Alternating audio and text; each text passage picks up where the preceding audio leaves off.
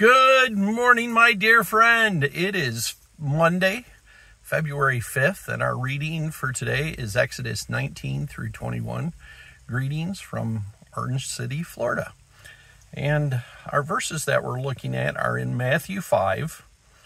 And the same verses once again today, finishing those up. And starting in verse 6, it says, Blessed are those who hunger and thirst for righteousness, for they shall be satisfied. Blessed are the merciful, for they shall receive mercy. Blessed are the pure in heart, for they shall see God. And just as I was thinking about this verse this morning, I was just considering that phrase, for they shall see God. They shall see God in all that they do. If we're pure in heart, we're going to see the Lord moving in all that we're involved in. We'll see Him, we'll see His handiwork all around us.